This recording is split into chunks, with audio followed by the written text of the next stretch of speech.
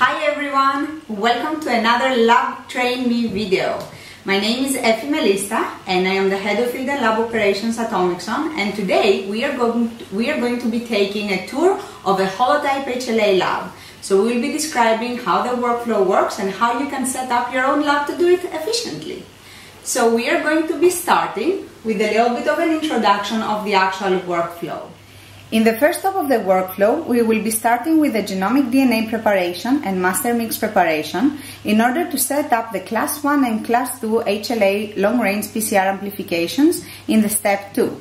Then after the amplification is done, in step 3, we will be quantitating the amplicons and normalizing them to about the same concentration in order to pull all of the loci per sample together.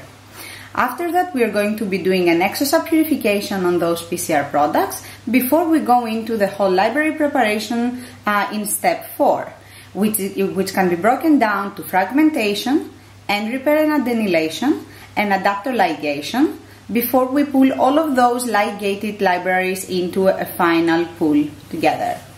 Once we have the final pool, we will be size selecting that library using the Pippin Prep in step 5 and then we will be quantitating the size selected library in step 6 using either a qubit or a qPCR.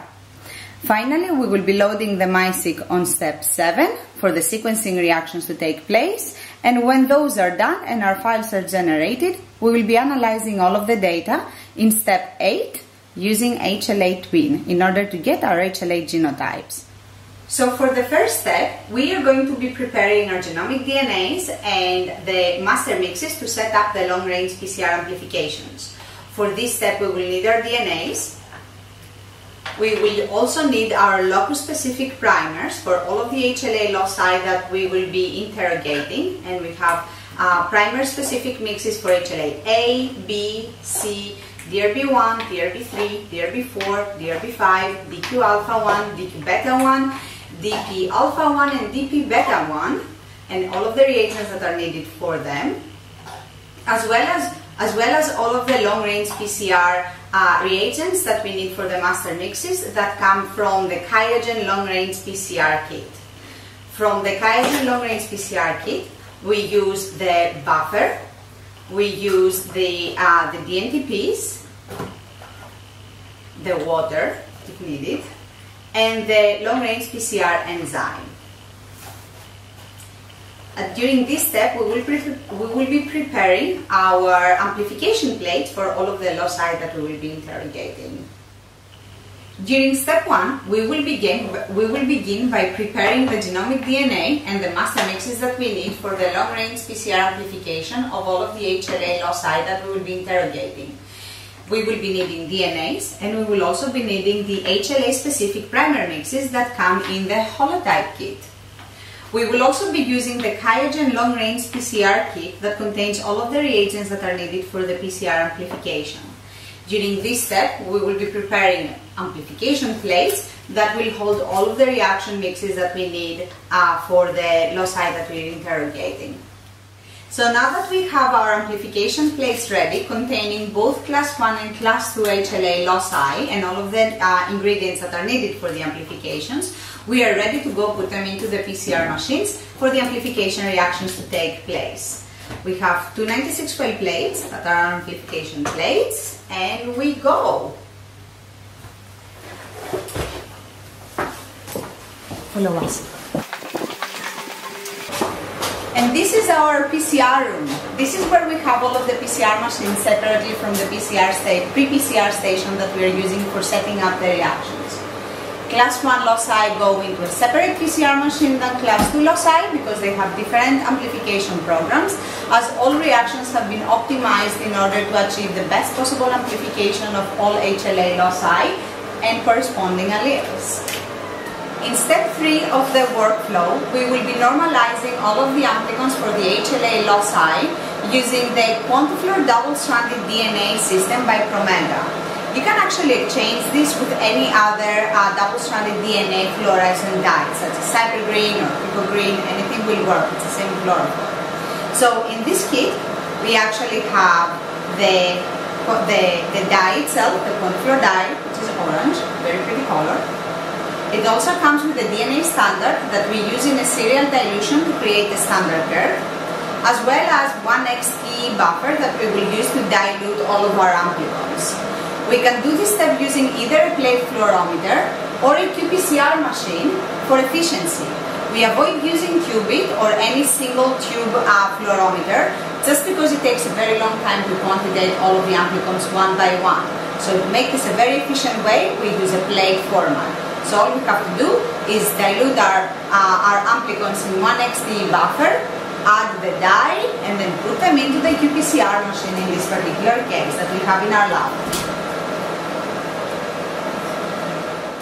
After quantitating our amplicons, we want to normalize them all to about the same concentration because at this point we will be pulling all of the loci per sample together. So while before we started with multiple amplification plates for every HLA locus separately, at this point we are consolidating everything down to much fewer wells. So this makes the whole process moving forward much easier. Now that we have finished with our pulling, all we have to do is do the ExoSAP PCR purification in order to remove all of the unused PCR reagents uh, from the previous step and move towards the next step, which will be the library preparation. Next step, we will be talking soon. In step 4, we are going to be doing the library preparation.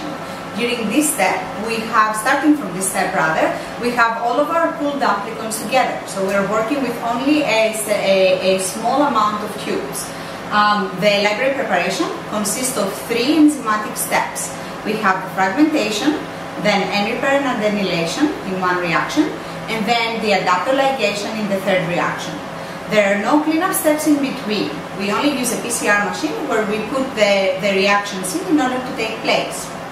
The important thing for the fragmentation reactions is to set them up on ice. That is the most important thing into the whole, in the whole process. The rest of the reactions can be set up just on your bench without a problem. For these steps, all three enzymatic steps, we use the buffers and, the, and enzymes that come in the holotype kit.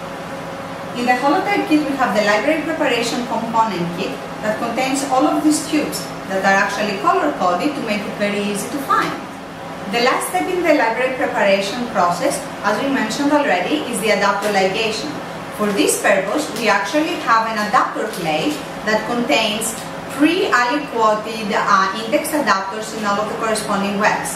Each well contains a unique, index adapter, so it's very important to keep these separate and not cross-contaminate them. As I always say, try not to cross-contaminate the universe.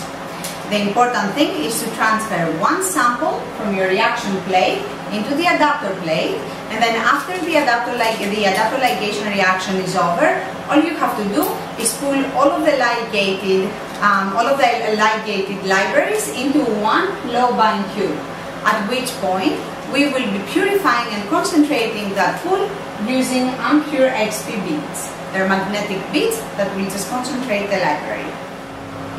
The next step is step 5. This is the library, the pooled library size selection. We do size selection using the Pippin Prep machine. It's an automated way to make to do size selection which is very specific, very easy and completely walk away. You load your library and you go away. The run takes about 45 minutes and then you have in the end the size selected library. For this purpose, we use the 1.5% agarose dye-free cassettes and the marker K corresponding reagents. We load the entire amount of library into the Pippin Prep and then we get the entire size selected amount out of it later on. So one of the last steps of the whole preparation is the library quantitation. This is step 6. During this step, we want to measure the concentration of our final size-selected library. We always keep our library on ice. It's very, very important to keep that on ice from any step forward. You can use the library quantitation using two different, two different machines. It's entirely up to you and what is your preference. You can use either a qPCR machine and the Kapa Biosystems library quantitation kit, specific for the, with the Illumina specific uh, primers in it, use a qubit with the qubit assay, the qubit broad range assay. Either one is perfectly fine for this purpose. And now that we have quantitated our library, we are finally ready to load the MiSeq, which is pretty much the last step in the whole process. So the very last step in the whole workflow is to finally load the MiSeq. In order to load the MiSeq, we just follow all of the standard recommendations by Illumina.